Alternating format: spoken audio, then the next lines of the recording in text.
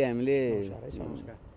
A, सत्यनिरूपण तथा मेलमिलाप र व्यवस्था सम्बन्धी आयोग सम्बन्धी जुन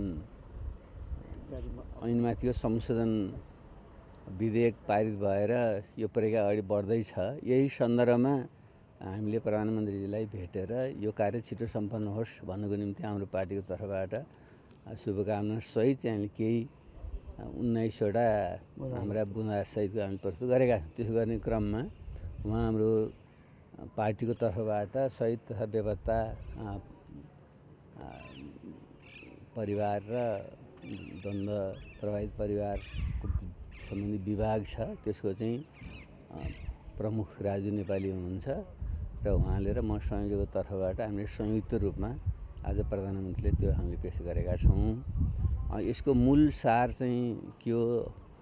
भने अठार वर्ष भइसक्यो शान्ति प्रक्रिया देश अगाडि बढेको तर संविधान बन्यो सेना समायोजन भयो तेस्रो जुन पक्ष थियो सङ्क्रमणकालीन न्याय सम्बन्धी सत्यनिरूपण तथा मिल्ने आयोग र बेपत्ता आयोगको काम सम्पन्न गरेर देशमा दिगो शान्ति मिल्ने कायम गर्ने काम बाँकी छ। त्यसले यो काम चाहिँ अब जसरी पनि पुरा गर्नुपर्छ यो कुनै पार्टी विशेषको समूह विशेषको चाहिँ यो होइन। त्यसैले हामी सबै मिलेर यसलाई सम्पन्न गरौँ भन्ने हाम्रो पार्टीको मुख्य चाहिँ धारणा हो र त्यही हामीले व्यक्त गरेका छौँ। यसमा हाम्रो मुख्य सुझाव हामीले के दिएका छौँ भने यो चाहिँ सहमति बिना यो हुँदैन किनकि हाम्रो शान्ति प्रक्रिया एउटा विशिष्ट प्रकृतिको छ यो एउटा पक्षले जितेको अर्कोले हारेको होइन। हामी दुवैले एउटा सहमति गरेर आएको हुनाले त्यति बेलाका द्वन्द्वका दुई दुई पक्ष थियौँ। वास्तवमा तिन पक्ष थियो।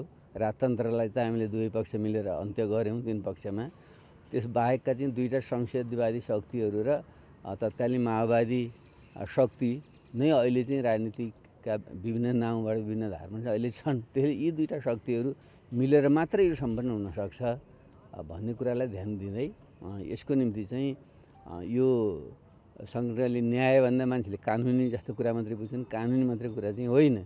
यो चाहिँ राजनीतिक कानुनी चाहिँ प्रक्रिया हो। त्यसैले अब यी आयोगहरू निर्माण गर्दाखेरि दलीय अथवा चाहिँ सङ्कीर्ण सोचको आधारमा होइन कि राष्ट्रिय अन्तर्राष्ट्रिय एउटा विश्वसनीयता भएका त्यस्ता व्यक्तित्वहरूको नेतृत्वमा यसलाई सम्पन्न चाहिँ गरिनुपर्छ र सङ्कटकालीन न्यायका जुन अन्तर्राष्ट्रिय मान्यता छन् र त्योभन्दा पनि अझ बढी यो प्रक्रिया हाम्रो आफ्नै नेपालीहरूको मौलिक प्रक्रिया भएको हुनाले हामीले यसको नामै सत्य निरूपण तथा मेलमिलाप आयो भनेका छौँ। सत्यको अन्वेषण गर्ने तथ्य पत्ता लगाउने त्यसको जानकारी सम्बन्धित पक्षहरूलाई दिने र पीडितहरूलाई चाहिँ परिपूर्ण उम्, को व्यवस्था गर्ने र गैर न्यायिक ढङ्गले त्यस्तो चाहिँ केही गतिविधि भएको छ भने त्यसलाई सङ्कटमा न्याय अन्तर्गत नै त्यसलाई सम्बोधन गर्ने र अन्तत चाहिँ मेलमिलाप कायम गर्ने दिगो शान्ति कायम गरेर अगाडि बढ्ने भन्ने हो। त्यसले यिनै कुरालाई केन्द्रमा राखेर हामीले चाहिँ उन्नाइस सूत्रीय